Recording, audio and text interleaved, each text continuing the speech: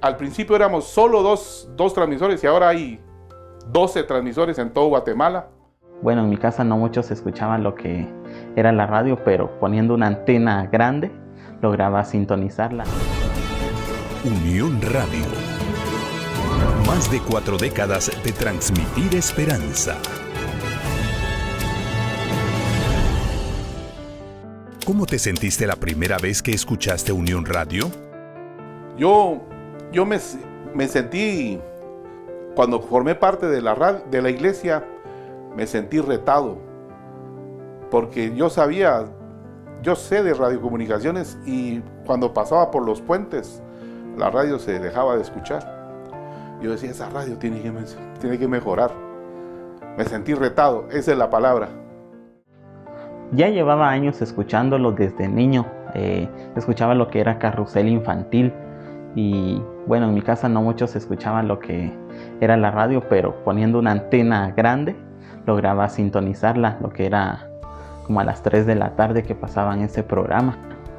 Y luego Dios me dio la oportunidad de venir a trabajar aquí a Guate y llegué como a mediodía específicamente y entrando aquí cerca de la radio donde estuve trabajando, escuché la voz de la esperanza y me sentí muy muy feliz al, al escuchar nuestra radio y sin ninguna interferencia. ¿Algún canto de Unión Radio con que te identifiques? En las trompetas de la voz de la esperanza, el llamado de la voz de la esperanza. Hay una melodía que me recuerda mucho a la radio y yo creo que a muchos de nosotros que pertenecemos a, esta iglesia es que nos identifica y es el canto oficial de la voz de la esperanza que dice son de trompetas son de trompetas que anuncian la paz ese y escuchar la voz de la esperanza fue uno de los programas que a mí me impactó especialmente cuando entré aquí a Guate. ¿Qué programa de Unión Radio te impactó más? El programa de La Voz de la Esperanza con el pastor Milton Peverini. Ese fue el que más me impactó. ¿Cómo te sientes al trabajar en Unión Radio? Me siento feliz, me siento realizado, emocionado y agradecido con Dios.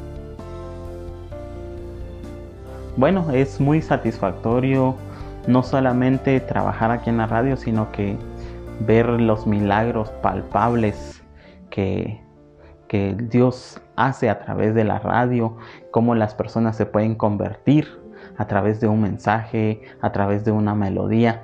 Eso es lo que a uno los lo anima a seguir adelante, porque cada día recibimos diferentes eh, testimonios de personas que les ha ayudado una melodía o una predicación o algo que alguno de nuestros locutores ha preparado y le ha dado paz y le ha dado tranquilidad para su alma. ¿Qué evento de Unión Radio recuerdas? Recuerdo los 15 años de Unión Radio cuando nos presentamos en el Teatro Nacional y, y vino José Ocampo. Yo formaba parte del Club de Amigos de Unión Radio y tuvimos la oportunidad de, tener acceso a ese lugar, ya que yo era el técnico de los radiotransmisores del Teatro Nacional. Recuerdo esa actividad, fue una actividad muy hermosa al cumplir 15 años. ¿Qué significa para ti los 42 años de Unión Radio? Para mí significa una gran bendición de Dios poder eh, celebrar estos 42 años. Eh, ha sido, ha sido difícil. Eh, el sueño se ve realizado ahora, 42 años después, porque al principio éramos solo dos, dos transmisores y ahora hay 12 transmisores en todo Guatemala y me siento muy feliz, me siento muy feliz. 42 años de la radio es muy satisfactorio ya que podemos ver el avance que tuvo en muy poco tiempo, que en 30 años no se había logrado en poco tiempo fue que se logró crecer bastante y hasta la fecha seguimos creciendo gracias a las ofrendas de ustedes, a sus oraciones, a su apoyo constante que tienen a esta, esta emisora. Unión Radio.